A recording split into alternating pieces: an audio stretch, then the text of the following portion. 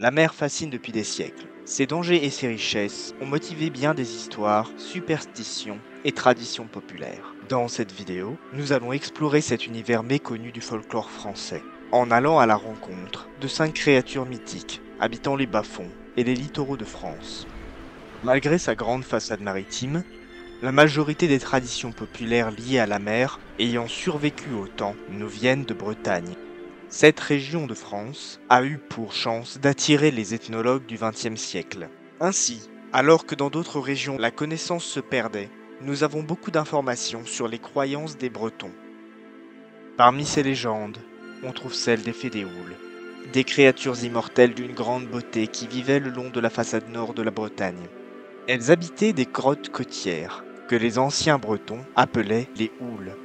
On racontait que les fées vivaient luxurieusement, accompagnés des fétaux, leurs époux, et d'un peuple de lutins dédiés à leur protection, appelés les fions.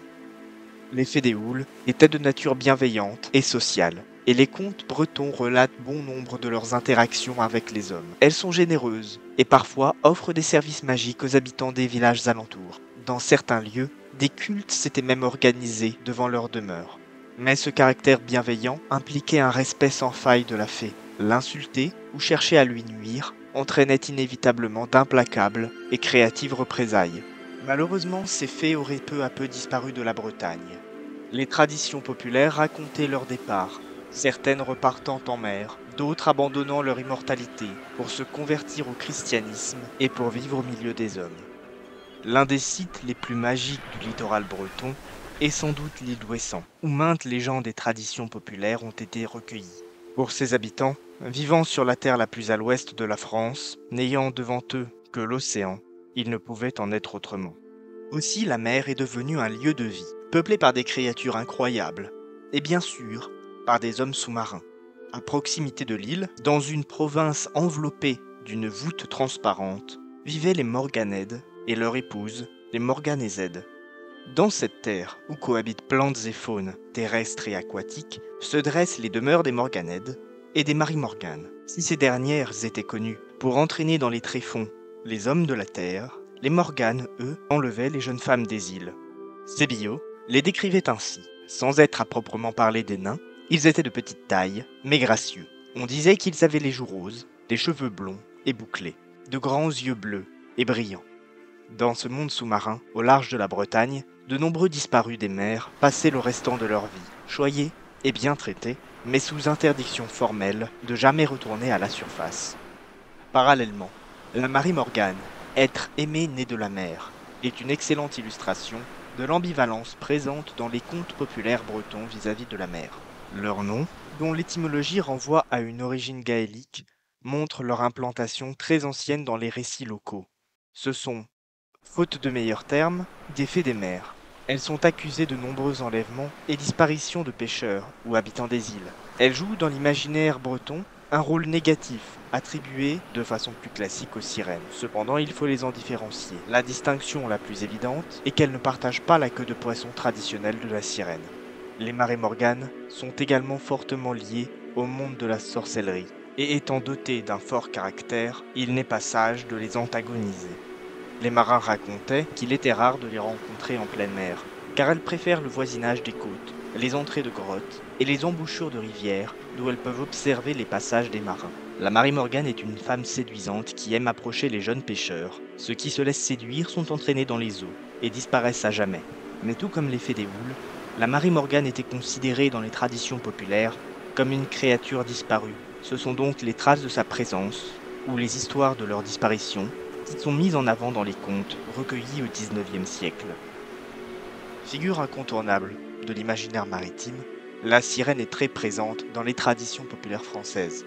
Mais je n'en parlerai pas ici si la sirène bretonne ne possédait pas des caractéristiques qui la démarquaient de l'image commune de cette créature.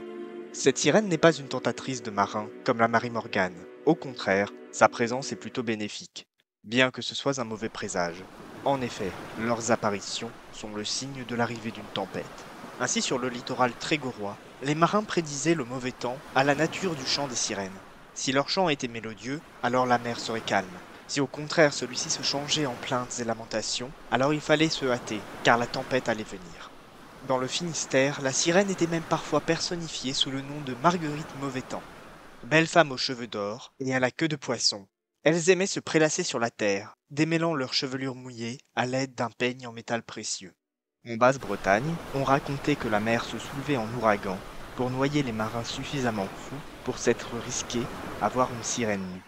La mer semblait en effet protéger les sirènes. Lorsqu'un homme cherchait à s'emparer ou à blesser l'une d'elles, une punition sévère arrivait vite. Que ce soit un vent furieux qui fracassait les navires contre la côte rocheuse ou la chute de cités entières.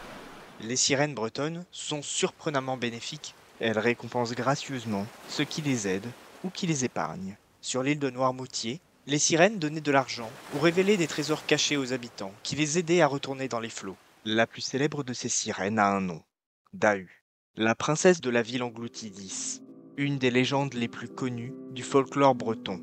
Jeune princesse, qui manipulée par le diable, trahit son père et permit l'ouverture des digues qui protégeaient la ville de la mer. Incapable d'échapper à la catastrophe, elle est emportée dans les eaux et selon la tradition populaire locale, finit transformée en sirène. Elle apparaît depuis aux marins, lorsque de grandes tempêtes approchent. Quittons la Bretagne pour remonter le temps jusqu'à l'époque des rois mérovingiens. Dans la Chronique de Frédéguerre, écrite au 7e siècle, un document qui relatait l'histoire du monde, de sa création à l'avènement de Charlemagne, on trouve la mention d'une bien étrange créature, le Kinotaure. Un grand taureau divin à cinq cornes, un amalgame des symboles de la puissance du dieu Neptune, le taureau, symbole de fertilité, et le trident. On le retrouve également représenté avec une queue de poisson, telle une sirène. Il est écrit dans la chronique que la bête avait surgi des eaux pour s'attaquer, durant sa baignade, à la reine Altina, la mère de Mérové, le fondateur de la dynastie mérovingienne.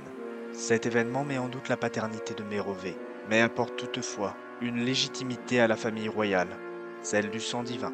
La raison derrière l'attribution d'une ascendance divine païenne à la dynastie mérovingienne soulève toutefois des questions. Était-ce un acte de valorisation des anciens rois ou bien un moyen de les discréditer afin de mieux renforcer les Carolingiens? C'est en effet durant le règne de ces derniers que la chronique de Frédéguerre a été rédigée.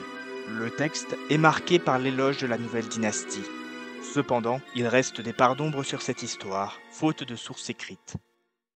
Je ne peux pas ici aller trop dans le détail, et présenter toutes les petites légendes maritimes de France.